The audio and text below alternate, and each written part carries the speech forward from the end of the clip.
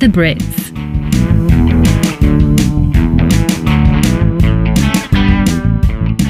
Across the world, the way people greet each other can vary greatly.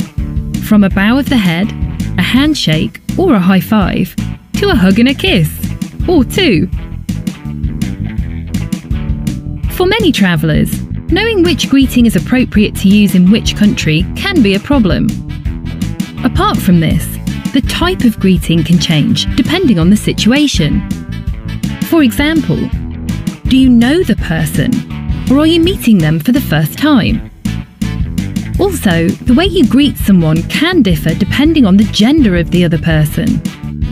In Britain, a handshake is appropriate in formal situations, such as business meetings, more formal social gatherings, or with strangers. Look at the person whose hand you're shaking in the eye, smile, and say, Nice to meet you. Or, the more traditional, How do you do?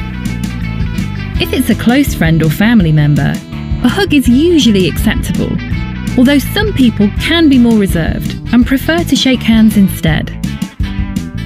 Between some friends and families, the more continental kiss on the cheek is also becoming common practice.